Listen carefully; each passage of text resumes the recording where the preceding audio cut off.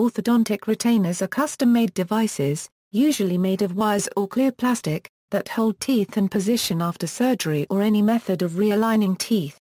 They are most often used before or after dental braces to keep teeth in position while assisting the adjustment of the surrounding gums to changes in the bone.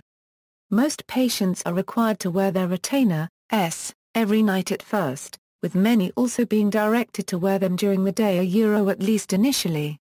There are four types of retainers typically prescribed by orthodontists and dentists, Hawley, Essix, Zendura, and bonded retainers. Hawley retainer.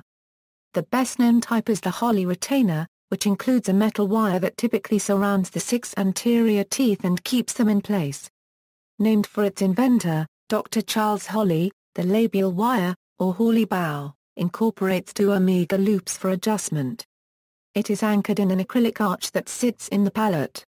The advantage of this type of retainer is that the metal wires can be adjusted to finish treatment and continue minor movement of the anterior teeth as needed.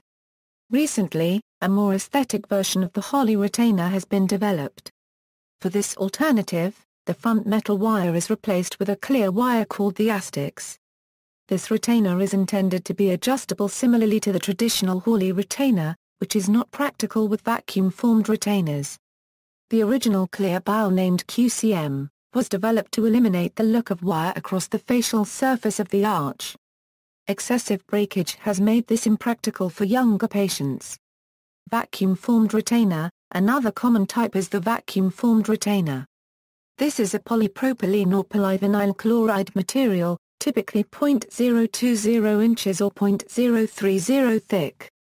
Essix and Zendura are the brand names commonly associated with this retainer.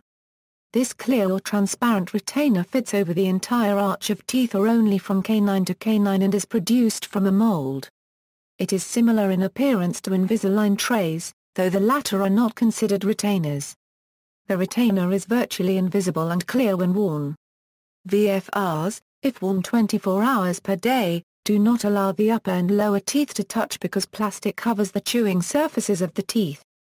Some orthodontists feel that it is important for the top and bottom chewing surfaces to meet to allow for favorable settling to occur. When eating is necessary, the retainer is removed to allow natural consumption and to avoid the crashing of the VFR. VFRs are less expensive, less visible, and easier to wear than Hawley retainers. However, for patients with disorders such as bruxism, VFRs are prone to rapid breakage and deterioration, especially if the material is PVC, a short-chain molecule which breaks down far more quickly than polypropylene, a long-chain molecule. Most removable retainers are supplied with a retainer case for protection. During the first few days of retainer use, many people experience extra saliva in their mouth.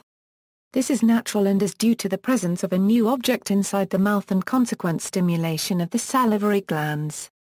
It may be difficult to speak for a while after getting a retainer, but this speech difficulty should go away over time as one gets used to wearing it. Fixed retainers, an entirely different category of orthodontic retainers are fixed retainers. A fixed retainer typically consists of a passive wire bonded to the tongue side of the incisors, Unlike the previously mentioned retainer types, fixed retainers cannot be removed by the patient. Some doctors prescribe fixed retainers regularly, especially where active orthodontic treatments have affected great changes in the bite and there is a high risk for reversal of these changes. While the device is usually required until a year after wisdom teeth have been extracted it is often kept in place for life. Fixed retainers may lead to tartar buildup or gingivitis due to the difficulty of flossing while wearing these retainers. As with dental braces, patients often must use floss threaders to pass dental floss through the small space between the retainer and the teeth. References, S. Lin. Part 6, After the Braces Come Off. Braces 101, a primer for adults new to braces. Retrieved August 26, 2008. External links